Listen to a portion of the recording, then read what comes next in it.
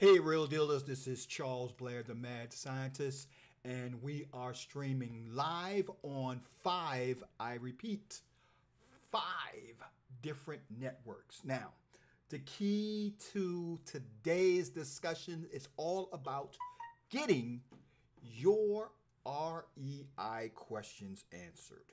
And let me turn down the volume, put the phone on silence.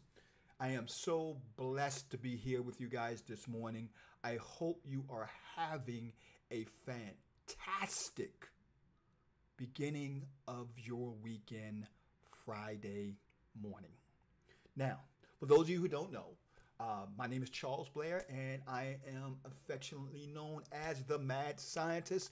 We run the second, and when I say we, I mean my wife and I, we run the second largest real estate investing network in the nation called the Real Deal Meetup. We have over 8,000 members and we would love to have you come join us. Now, you can reach out to us at therealdealmeetup.com. That is the real deal meetup.com. Now, let's go over a couple of things that we are going to bring to topic today. First thing first, I want to let you guys know of all the upcoming events we have that is powered by the Real Deal Meetup. First and foremost, we have our Real Meals and Deals event that's going to be on July the 3rd at Ida B Table, located in downtown Baltimore. Fantastic networking opportunity for you guys where you'll have an opportunity to get a fantastic, great meal at a great restaurant, soulful restaurant called Ida B Table. And it is hosted by myself, Tammy Blair, and Corey Banks. And we always have a nice surprise guest that's going to really uh, give you guys some knowledge on real estate investing and real estate profession that we all love. Number two, we have the Baltimore REI Networking Mixer, and that is on July the 25th. That's located on the 19th floor of the Lord Baltimore Hotel. If you guys are able to make it, 6 o'clock till 9 p.m. Remember, it's going to be July the 25th. This is our networking mixer where we just basically shoot the breeze and talk about what's going on in business, talk about what's going on in your life, and just have fun. Last but not least, we have our Baltimore, or should I say, our real deal meetup event it's always the fourth Saturday of the month. This month is going to be on July the 27th. So if you're not doing anything that day, you better not be doing anything that morning. You better be heading over to the Real Deal Meetup on July 27th. We love to have you guys in the house. So I want to first of all thank you guys for tuning in. Uh, REW, thank you for tuning in, my friend. Kimberly, thank you for tuning in on YouTube. Greg, thank you for tuning in. Marsha, thank you for tuning in. Richard, thank you for tuning in on Instagram. Let me know, guys, if you can hear me. Anthony Jenkins, I'm glad you're here, my friend. Welcome to the broadcast. If you guys can hear me loud and clear, heart it up, like it up, put in the comment section, Charles, I can hear you, so we can go ahead and make sure we don't have any technical gremlins. Now, the purpose of this broadcast is to answer each and every last one of you guys and gals real estate investing questions. Now, this is one of the ways in which my wife and I give back to the community. Uh, I've been a full time investor for now over 30 years, and I love sharing my knowledge. I love to work with you guys. If you have any way in which we could work together, you would love to reach out to me. I can be reached at charles at realdealmeetup.com. That's charles at realdealmeetup.com. We are currently looking for deals, so make sure you put me in that deal list. Good morning, my friend Anthony. Welcome to the broadcast, my friend. Now, here's how it's going to work. Teal, welcome to the broadcast. Columbus, Ohio, checking in. Hey, I'm glad to have you out there in Columbus. Here's what I want you guys to do. On Instagram, we have Varnag checking in. please, in the comment section below, if you want to get your questions answered, just post them in the comment section on the platform that you are listening to right now. As I mentioned earlier, we are on a number of platforms. We are currently on Facebook. We are currently on Twitch. We're on Instagram. We're on YouTube. We are also on Periscope. So if you just paste in the comment section wherever you're at right now, and we will make sure we get those questions answered. Jason, my friend, welcome to the broadcast. I love, love all the energy you guys are giving me and all the love you're giving me right now. Now, first question comes from Keith. Keith is a wholesaler and he really wants to scale his business. He wants to know how do you go from one to two deals a month to scale your business to the point where you're doing five, ten deals a month. Gary McKeon, welcome to the broadcast. Keith, that is a great question. And the easiest way to answer that question is this you must first have a consistent business plan in place. Because in order to scale that business, you have to be willing to work out of that business. Now, think about what I just said. When I say work out of the business, I'm not talking about literally separating yourself from the business. What I'm talking about is working on your business as opposed to working in your business. So you want to take to the point the, the the process of okay, I'm right now working X amount of hours, doing one, two, three deals a month. Now, how can I replicate myself? How can I replicate my action? How can I basically measure that consistency and have others do what I'm doing where I'm able to basically scale my business to higher heights? And that's the key to what we're talking about. It's all about scaling your business to the point where you're working on it as opposed to working in it. So the first thing you want to do is you want to basically make sure you document every SOP that's in your business. Basically, what I'm talking about is a standard operating procedure that you have in your business in order to do your business. You want to make sure there's a process in place where everything you're doing can be basically measured, everything that you're doing can be qualified, everything that you're doing can be documented so that you can take your place in or out of your business and give it to someone else to do. That's your key. I mean, you can decide to say, I, I'm going to do this, I'm going to do that. But if you want to scale your business, you can't be that one trick pony. You have to be that person who has a process in place, who has the details in place where you can take what you're doing, plug other people's in, and then do it, have others do it. Now, the key here is this. Normally, what you're going to do is give the things that are the tedious task to someone else to do. Because those are, for the most part, the most time consuming tasks. Now, when you take that approach, now you, as the owner, as the manager of whatever you want to call your situation, you can now look at your business and say, here's the areas that are making me the money. Here's my areas of conversion. Is it negotiating? Is it marketing? Well, it's going to be one or the other if we're talking about in the real estate side. So you can replace yourself doing a lot of real estate tasks, but you still have to come up with the proper tasks, the proper activities that you want to do that's going to give you the results that you want. So, in other words, if you put garbage in a situation, you're going to get garbage out. Now, what do I mean by that? If you're doing strategies the wrong way, if you're executing an approach the wrong way, then the results you're going to get is going to be limited. So, you as that thought provider, you as that boss, have to decide is what I'm doing right and is going to give it is it going to give me the type of results I'm looking for. So it's all about measuring, measuring, measuring.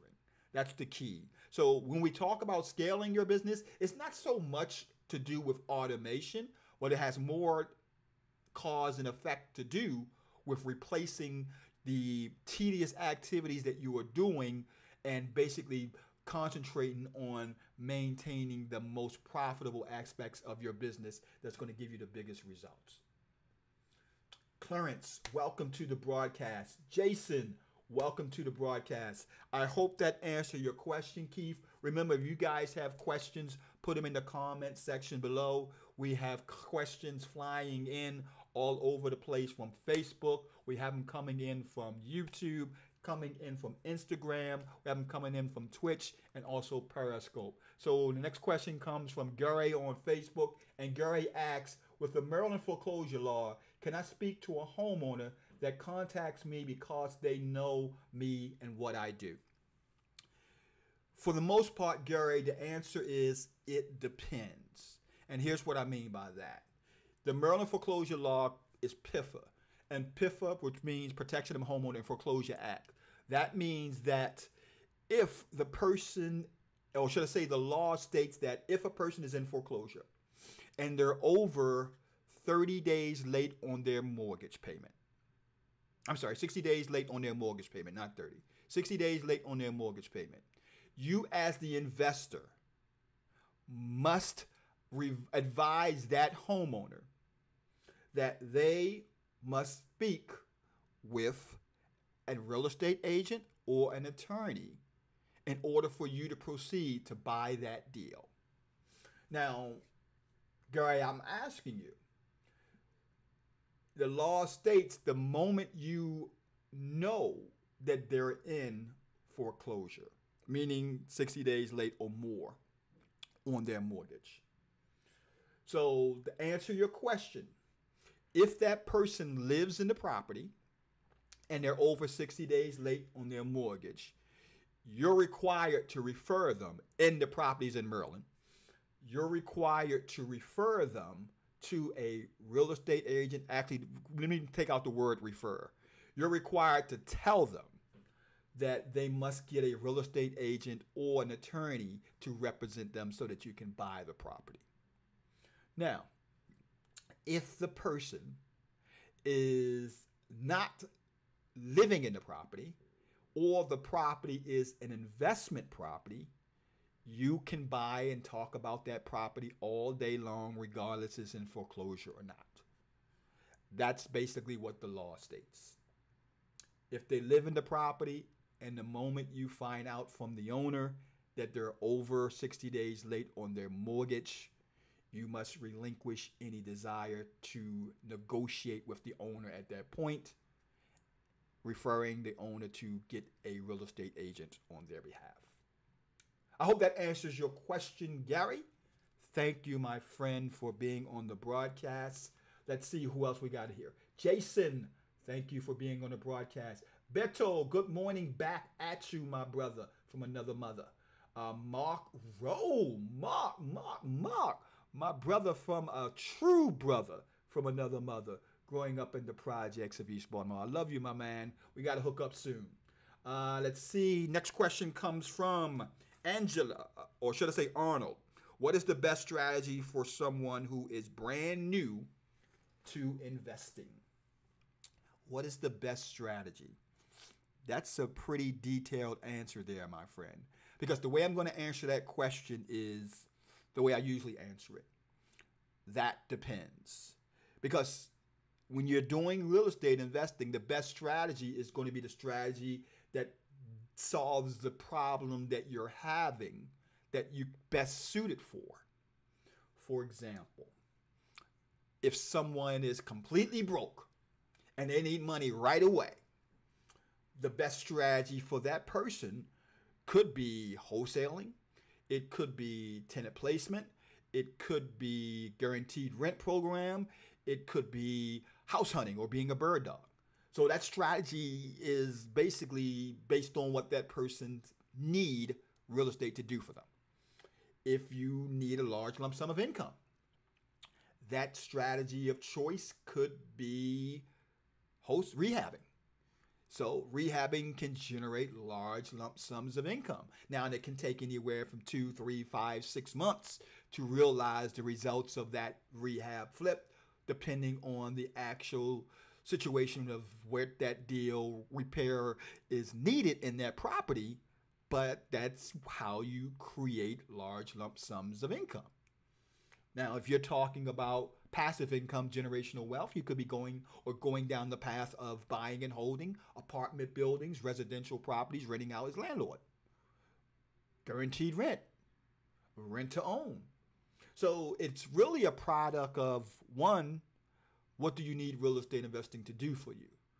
But secondarily, but most importantly, what strategy suits you best? You got to remember that each strategy has a learning curve. And that learning curve could be this great,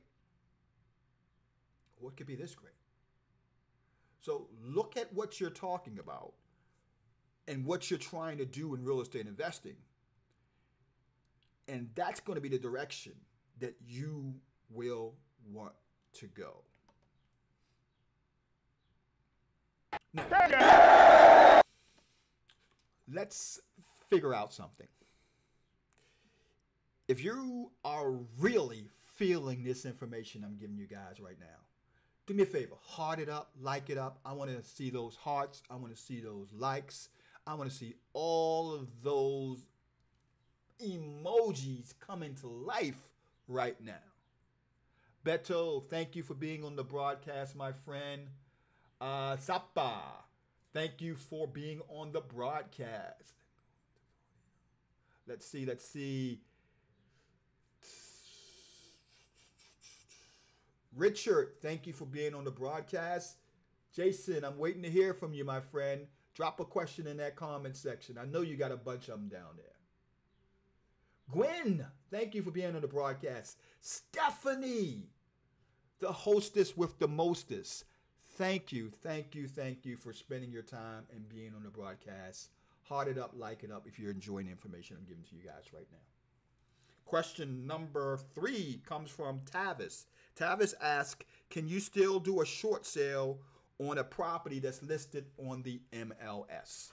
Can you still do a short sale on a property that's listed on the MLS? Absolutely, you can. However, there's two different situations involved with this. And here's what I mean by that. Number one, my question is Is the property already listed as a short sale or not? If the property is already listed as a short sale property, then of course you can do a short sale on that property. However, if the property isn't listed as a short sale property and you still want to do a short sale or propose a short sale to that person, you're going to have to go through that actual homeowner. And you're going to have to find out the information you're going to need for in order to even propose doing a short sale on that property. And here's what I mean by that. You're going to want to know what the mortgage balance is, what the mortgage payment is. And here's the reason why. Most short sales don't happen in fact, I can almost say almost all short sales don't happen unless the person is behind on their mortgage payments. So that's one qualification you're going to want to have in place. Now, what it also helps that there is a hardship situation with the homeowner. It also helps that the property is in need of repairs. And it also helps that the person may be upside down. Now, it's not mandated, but it helps the situation. We've done short sales on properties where the property was five months late, 10 months late, 15 months late, even 18 months late, meaning the owner hadn't made a mortgage payment in 18 months. I'm going to say it again. The order, the owner hasn't made a mortgage payment in 18 months. And we were able to structure that property as a short sale and make that deal happen. As a matter of fact, I think the profit on that deal was about fifty-two, fifty-three thousand dollars, maybe a little bit, a little bit more than that. But it was a great deal. The situation was there because the owner was in a hardship situation. The mortgage payment hadn't been paid in almost two years, 18 months, and the actual property had a little bit of equity, but the equity could not be realized because it was over $40,000 worth of repairs that was needed. So,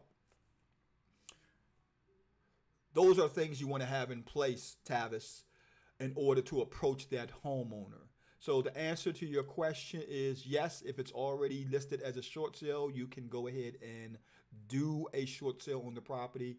And secondarily, you will have to speak with the owner to uh, propose the short sale. And yes, they will be represented by an agent that will execute the short sale process for them or a short sale expert for them.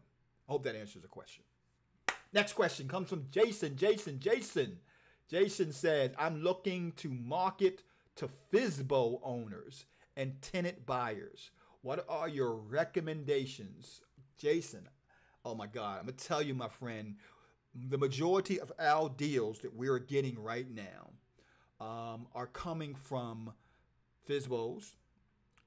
And I'm talking about the, the structured deals, not the, the wholesale deals. The majority of our structured deals are coming from FSBOs on the various marketing platforms. And here's what I mean by that. We're going after individuals on Craigslist. We're going after individuals on Zillow. Zillow. As a matter of fact, we are scraping Craigslist for sale by owner. My team is also scraping for sale for rent by owner, and we're also scraping from Zillow and all the directory websites where we have access to telephone numbers, access to these types of information as well. And what we are doing uh, is basically reaching out to these individuals and following up with them with automated messages. As a matter of fact, let me show you exactly what I mean. I'm going to go ahead and log into my Podio account.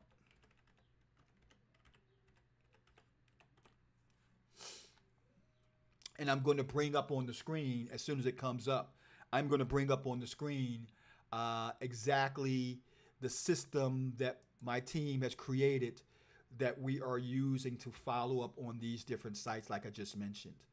Um, it can be extremely challenging if you're doing it manually, but it works. So the question now is exactly what are you doing and how are you following up with your individuals that are in these different situations? Because what you're looking for is motivated sellers that have properties for rent properties for sale that you can basically monetize the situation with by taking over payments and so on owner structured financing guaranteed rent tenant placement rent to own etc etc etc so right now uh, let me see if I can pull my desktop up.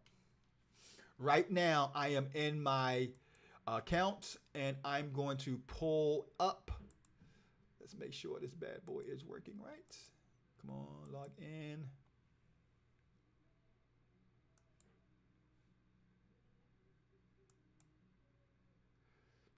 We're having a little difficulty in the technical side. Let's see if we can get this thing up and running.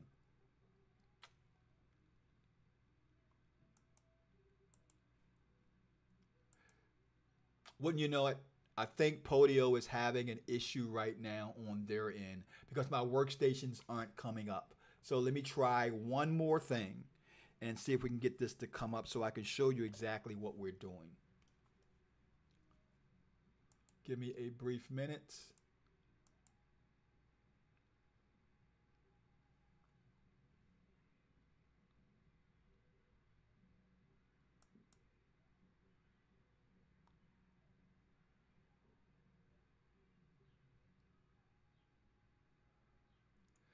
Okay. We are now ready to show you. So, if you're looking at our system right now, you should see my Facebook for sale by owner Craigslist app. Now, this is how we're doing it, uh, Jason, and it's very ingenious. My team created an actual app that actually goes into Facebook and when it goes into Facebook, it actually pulls all the information from the actual campaign. I'll give you an example. Let's click on this one. This lead came in on the 27th. So what we're doing is if you scroll down, you'll actually see the actual Facebook, the Craigslist post. I'm sorry, I said Facebook, but Craigslist post. And you just click on that post and it will open up into Craigslist. And you see all the details that comes with it. So what we are doing, we are basically clicking on the reply button here and we're copying and pasting all this information as well as the information here in the actual fields along here. So the first name, last name, if there's a first name, property address, what the price is the person is asking, their phone number, and so on. Now, once we do that, Jason, all we have to do is click this little button right here, and it will send them an email and a text message letting them know we're interested in buying that property. Then we go ahead and start the follow up sequence. Every day they don't respond to us, and keep this in mind every day they don't respond to us, they will get another message sent to them letting them know that we're interested in buying or interested in doing rent to own or interested in doing tenant placement. So that's basically how we're automating scraping on Zillow, Facebook, Zillow, I keep on saying Facebook, Zillow, Craigslist, and so on. We're using technology that my team has created to do that process. I hope this helps. Now, Let's see, what other questions do we have? Carmen B. I live in Los Angeles and I am doing my first short sale. Congratulations, Carmen. Uh, doing my first short sale. Can you explain how I do the LLC assignment to an investor? This process confuses me. Great question, Carmen. Okay, how you would do an LLC assignment is simple. When you put the property under contract, First of all, you want to make sure you put it into the entity of the LLC that you're going to use. Now, that LLC does not have to be created yet. Keep that in mind. It does not have to be created. But you want to have it created, so you want to make sure that that LLC is available. And the way we do that, excuse me, the way we do that is by putting the property in the address name and then going ahead and contracting it in that name. So, for example, if the property is 103 Main Street, then we would basically call the actual name or the entity that we're going to buy the property in 109 Main Street LLC. And that's what we assign the contract as 109 Main Street LLC. Now, that LLC, nine times out of 10, has not been created. It's not going to be created until one or two things happen. And should I say this is an end or or scenario? Once you get the property under contract, you can go ahead and create the LLC. Or once you find a wholesale buyer, you can go ahead and create the LLC. I like the latter as the best way to do it because you want to make sure that LLC is nice, clean, and fresh. What that means is that that person who is you're going to assign that LLC to is going to be the person who wants to make sure that there's nothing attached to that LLC. So the newer the LLC is, the better it's going to be for your buyer who's not going to have any headaches or not going to have any situations where they'll say, hey, I can't do that deal um, because I'm not so sure about the LLC. So that's the best way to do it. You're putting it in an LLC, then you're assigning, come on over here, give me a kiss, baby. then you are assigning that LLC to your end buyer, making them the actual members of that LLC when you create it. Mm. Thank you guys. That's my beautiful wife. She's about to go somewhere and she said, Good morning, everybody. So that's the way I recommend doing it if you're doing it in an LLC. Uh, all of this, of course, is basically making sure you have the right title company you're working with, and so on and so on and so on. Next question comes from. Greg, can you touch can you touch on using a nonprofit for investing in real estate? Greg, you must have been on that platform where we did last time. Uh, we had a actual Duru interview where we interviewed a young lady who actually created my nonprofit, uh, Stephanie Poplar, and she talked about how we could use nonprofits for real estate investing. And one of the ways, Greg, that you can use a nonprofit for real estate investing is basically with HUD. If you look at HUD classification, you have a couple different classifications owner occupied, uh, nonprofit, and investor. Well, the classification of nonprofit and owner occupied has first dibs of everything that comes new on HUD. So if you have a nonprofit, you're able to go after property, go at properties that owner occupants can go after because of you having that nonprofit, which means you could get better deals, better opportunities. Now, that's prior to the property being classified as investor property. So those are that's one of the reasons why, or one of the good reasons for the nonprofit working with real estate investing. Another good thing is, as a nonprofit, you can get discounts and free I repeat, you can get free stuff from Lowe's. You can get free stuff from um, Home Depot and other carriers donated to your nonprofit. I'm talking about materials for your rehabs and so on that they are willing to give you um, to support your nonprofit as long as you're not selling the material. So these are things in which your nonprofit can do for you to benefit you and your real estate business. Thank you. That's a great question, Greg. Uh, Jason, I hope that answered your question earlier. Dwayne, welcome to the broadcast. If you guys are getting great information from this broadcast, like it up, heart it up. I need more comments. I got a boatload of comments that's already been emailed to me. If you want to have your comments read on a future call, all you have to do is head on over to charles at realdealmeetup.com. Email me at charles at realdealmeetup.com to get your questions answered on live. Now, next question comes from Mike. How do you choose the right VA to work with? Mike, that's a very, very good question. And there's a lot of things you want to have in place when you're working with VAs. It's not really a mystery. The key is the interview process and making sure that you're choosing the right VA that can do the job. Now, a couple things you want to keep in mind that this business is all about knowing what you are doing. In other words, you want to make sure that your VA knows what the hell they're doing. And there's no way in the world you can do that if you don't know what the hell the VA is doing yourself.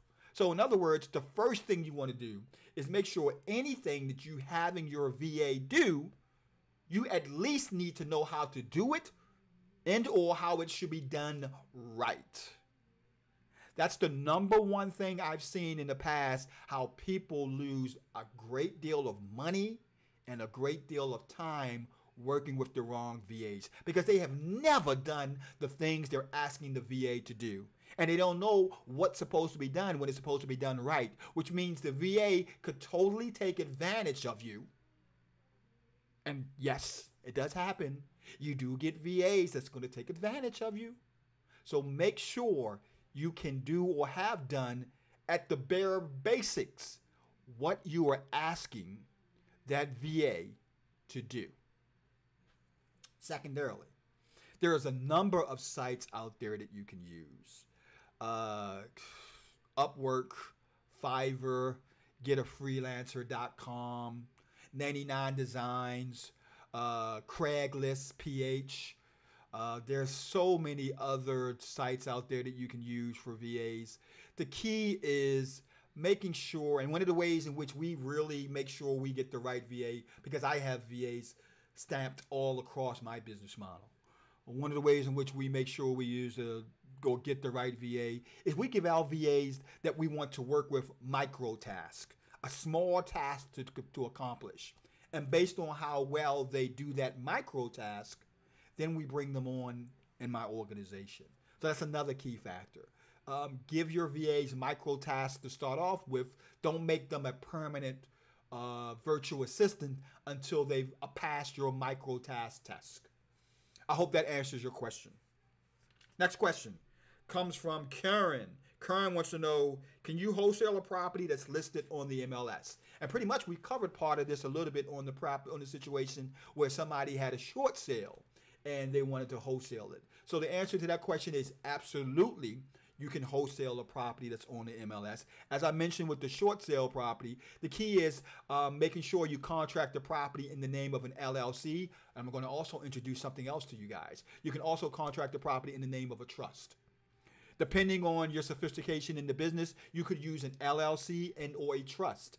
Now, the key here is this that not many investors know about trust. So you'll be better off using what's most familiar in our industry, and that's an LLC.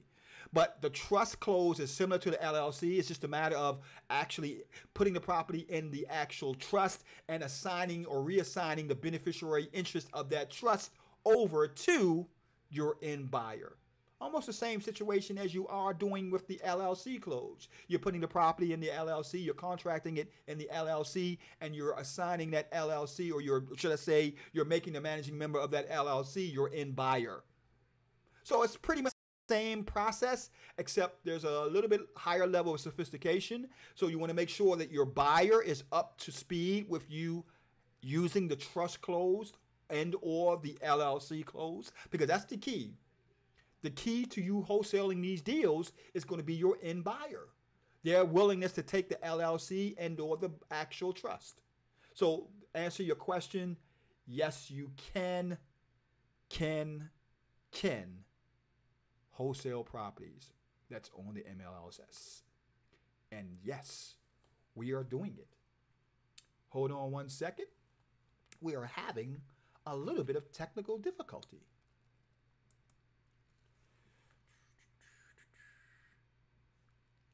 Now, the next question comes from Kletsas, who says, Do you JV in Charlotte, North Carolina? No. Do I JV in North Carolina? Absolutely. Unfortunately, we don't. But I do have partners in North Carolina that if you have a deal, I'll be willing to JV with them with. So technically, we're not doing it right now but if you have a deal in North Carolina, I could put something together where we could joint venture together. Yes. So send that deal over to me. Uh, email address is charles at realdealmeetup.com. That's charles at realdealmeetup.com, and we'll take it from there. So let's see who we got on the broadcast right now. We got Teal Williams on YouTube, Carmen B on YouTube, Jason on Facebook. We also have my other friends. Kamate on Facebook, Randy on Facebook, Dwayne on Facebook. Heart it up, like it up. We would love to hear from you guys. Thank you, thank you, thank you, thank you, thank you, thank you, thank you, thank you, thank you, thank you. Princess, thank you for being on Facebook. Now, let's go over the next question on our list. Now, if you want to also submit a question, remember, head on over to Charles at realdealmeetup.com to submit your questions. That's Charles at realdealmeetup.com to submit your questions. Okay. The next question comes from James. James wants to know Can you explain how to do subject to deals? Let's see on Instagram, we got a couple of people too. Thomas is on Instagram. Renee is on Instagram. Richard is on Instagram. Um, Buy More Houses is on Instagram. Thank you guys for tuning in. Can you explain how to do a subject to deal? Yes. So uh, let's talk about how we do subject twos because we're not like every other business out there that's doing subject twos. One of the things that I never do is hold a subject to for longer than six months if I have to. Um, some investors hold subject to for years. Don't do that, in my opinion. And the reason why I say that is because holding a property subject to you could be susceptible susceptible to the actual issues that the landlord or the owner, should I say that the owner will have during those years that could come down the pike. And what I mean by that, owner could file bankruptcy, could get a judgment against the property, and so on and so on and so on all these things you'd be responsible by taking them by taking them on by way of subject to that could curtail your ability to do what you want with the property if your long-term goal is to sell the property. Now, the way I like doing subject twos is this, and let's talk about what a subject to is. A subject to is basically taking over the property with the current encumbrances in place, mortgage in place, and so on. In other words, you're taking over the mortgage payment, which is what we call the classic subject to, and you're actually putting that property or having that owner put that property in a trust and then you're being assigned the beneficiary interest of that trust and based on that process you are now making mortgage payments on behalf of that homeowner and knowing or believing that the bank could care less where the payments are coming from now how people get in trouble with trust is when one they stop making payments two they don't explain the process very well to the seller who you are getting the subject to from, and the seller reaches out to the bank and tells them, hey, I'm not owning the property. Now, is a subject to legal? Technically, it's not. I'm being totally honest with you. Um, the only aspect of that process that's legal, or what we would call on the white hat side, is the fact that the owner can put the property in a trust. As a matter of fact, there's a court ruling called the Garn St. Germain Act that state that an owner can put a property in a trust for asset protection. However, the way we are getting around the call the due on sale clause, because if the owner transferred title and don't notify the bank, it could trigger what's called the due on sales clause. And the way investors get around that is by having the owner put the property in a trust and then being named the beneficiary interest of that trust. But it's still, excuse me, but it is still in violation because the Garn Saint Germain Act stated that the person, meaning the owner, could put the property in the trust as long as they're maintaining the beneficiary interest of that trust. When the investor takes the beneficiary interest, it's now considered in violation of Garn Saint Germain. Now, do investors do it? Yes. Like I mentioned, we've done it. You have to work, you have to basically base the risk on the reward. You have to say, yes, Charles, uh, I think the reward is worth perhaps um, having a loan call due. The reward is worth perhaps uh, being in a situation where the seller could slip up and um, ruin your situation. If you decide that, uh, then that may be something you want to do. The only way we would do it is in a situation. I'll give you an example of an actual deal that we did. We had a property in uh, Northwood, Baltimore. It was in 21239 zip code. And this was a property that we took over subject to. Uh, the actual numbers were something like $54,000 mortgage on the property. The house needed about 25,000 worth of work. The value was about 150. The seller really just wanted to get rid of the property. They didn't even want the property anymore. So we basically structured a deal subject to seller put up the house, we rehabbed the house, gave the seller money up front, and then gave the seller money when we sold the property. All parties happy. Now, notice the fact that I said we sold the property. The property was sold within six months. So that's a situation where I'm willing to do a subject to. I'm not going to do a subject to if I'm going to hold that property for a year or so. I'm going to do some other type of transaction, land installment contract, wraparound mortgage, rent to own, something different than the subject to. So that's the way in which we do them, and that's the way I recommend you doing them. However, you are your own person. Next question from Candace. Everywhere I go online, I see people talking about funnels. Can you explain exactly what is a funnel and how do funnel work for real estate investors?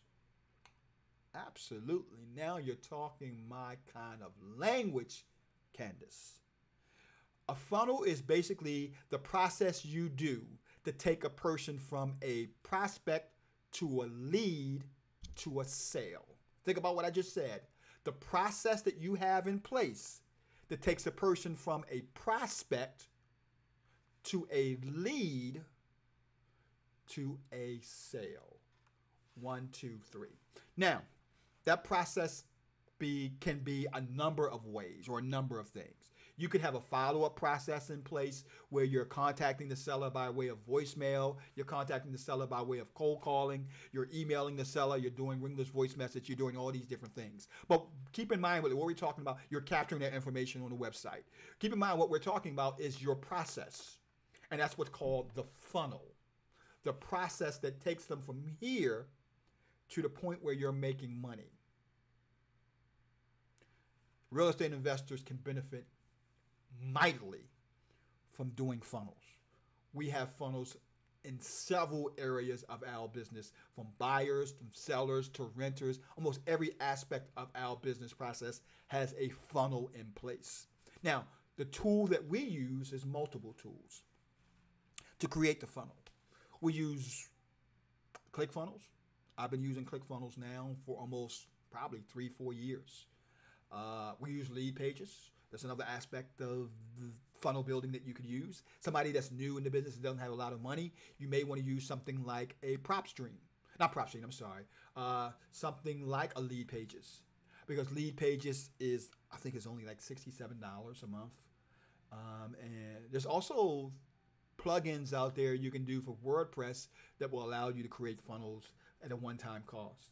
Um, my ClickFunnels account is about $297 a month. We have multiple funnels. And like I mentioned, buyers funnels, sellers funnels, renter funnels. Um, my whole business is a funnel. and I kid you not, it truly is. So, real estate funnels is an intricate part to your business. Reach out to me. I love to go in more details with me. Reach out to Charles at realdealmeetup.com. Charles at realdealmeetup.com. And Mr. Uh, Hammonds, that is correct. That is the correct email address. Next question comes from Quentin. What is the best way to get probate deals? Now, before I answer that question, remember, guys, we have a total of three meetings coming up in the next 30 days. I would love for you to attend those meetings if you're able to. We have the Real Meals and Deals meeting that is coming up, and that meeting will be on July the 3rd at Ida B Table. We also have the Baltimore REI Networking Mixer. That is going to be at the Lord Baltimore Hotel. That will be on July the 27th. And last but not least, the real deal meetup event, fourth Saturday every month at the real deal meetup.com. Look forward to seeing you guys there. Question comes from Quentin. What is the best way to get probate deals? Well, Quentin, I'm going to say really it depends on your financial situation and it depends on where you are at. First of all, if you're in Maryland, you can go to a number of the courthouses and pull the actual probate deals. I love pulling probate deals. Uh, let me back that up. I love getting probate deals from the courthouse. I don't pull them anymore. I have people that work in my company that actually go to the courthouse and pull the deals. So I could just as easily buy the actual leads. Eh, to me, I want the the um, urgency of getting deals that are brand, getting leads that are brand new, as opposed to not knowing where the leads are coming from when you buy them from a list source. So I like the approach of having my people go to the courthouse and actually pulling those leads. Um, uh, there's several courthouses you can go. As a matter of fact, if you want a copy of my probate lead cheat sheets, meaning it shows you how to pull the actual probate leads from Baltimore City and Baltimore County Courthouse, reach out to me. Uh, email me at charles at realdealmeetup.com. Charles at realdealmeetup.com, and I'll send you my white papers on how to pull probate leads from Baltimore City, Baltimore County courthouses. Now, that's one way of doing them, pulling them yourself, and I think that's the best way of doing them. Um, put your name in the comment section, and I'll make sure you get them as well. Let me know, hey, Charles, I want your probate list. Put that in the comment section. I'll make sure you get the probate cheat sheet as well. Now, like I said, there's a number of ways of doing it. One is pulling it live, the other, which is hiring a service to pull the list for you. The key to that service that you hire, you want to make sure that the lists are fresh, the leads are fresh. You're not talking about leads that come every three months, which means they're three months old, and someone else probably have already reached out to those individuals. I like to get my leads on a weekly basis. My people go to the courthouse every week and we pull leads. Now we go back as far as 18 months. What we're looking for is probate cases. Now, what is probate to begin with? Let me go. Let me give a little bit about what probate is. Probate is what happens when somebody passes away and it passes away without a will. So that's where probate kicks into place. Now, during the process of probate, you have what's called a personal representative being named. That personal representative that's being named during that process is the person that is in charge of selling off the assets to that actual house or the assets to that actual person that passed away. Now you want to make sure now all assets in the pro- in the actual probate contain houses. You have what's called a small estate and you have what's called a large estate. A small estate is an estate that is $35,000 and less or less in assets. A large estate is above $30,000 or less. So, which estate do you think may have real estate in it? You are right, the larger states. Now, that doesn't mean that some smaller states don't have real estate in it because we have houses in Baltimore that have value of five, ten, fifteen thousand dollars. So yes, it could be in a smaller state, but the majority of the properties that we are seeing are in estates that's classified as a larger state with thirty thousand dollars in assets or above. Now, once I have that information, we put that information and we skip trace that information, and we also send a letter and or postcard to that personal representative, letting them know that we're interested in buying that property. Now, we do what's called a follow up drip campaign. That follow up drip campaign occurs the first week. We reach out to that person at least three times until we speak with the person. After that, we reach out to that person once a month until we can buy the property or the house is no longer available. That's what we call our drip process for our leads, especially probate. I hope that answers your question. Gary, I will make sure you get that probate list. Thank you for leaving a comment below. Adam, thank you for being on the broadcast. Camilla, thank you for being on the broadcast. Randy, thank you for being on the broadcast. Remember, if you want a copy of my probate cheat sheet, just in the comment section below, just leave a copy. Hey, Mad Scientist, I want a copy of your probate cheat sheet, and I'll make sure you get it. Tavis, Tavis, good morning, my friend. Thank you for being on the broadcast. I already answered your question, man. So um, I will also put it in Facebook, but thank you for being on the broadcast. Final question comes from, or should I say, one of the final questions comes from Kristen.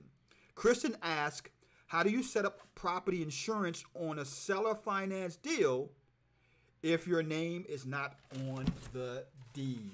And this is a question that came to me on Facebook from the Real Deal Meetup Facebook group. Now, guys, I'm going to actually give you or put in the link to the Real Deal Meetup Facebook group. I want you guys to hit on over there if you can. I know ah, if you can. I want you to hit over there to the Real Deal Meet Facebook group. I want you to go ahead and sign up for it. It's free group, of course, but it's a closed group. So you have to be approved. And I want you to attend at least, or should I say, invite at least 10 of your friends to my Real Deal Meetup Facebook group. I'm going to put the link below. So I want you to invite at least 10 friends. And hold on one second. Let me get that link right now. Mm. And for those of you that do that, for those of you that invite 10 people to join the Real Deal Meetup Facebook group, you will be getting a dynamic bonus from yours truly. Now, you guys know about some of the bonuses I give out. I give out bonuses worth thousands of dollars, no questions asked. So, here's the actual link that I want you guys to go ahead and post. Here we go. I'm putting it.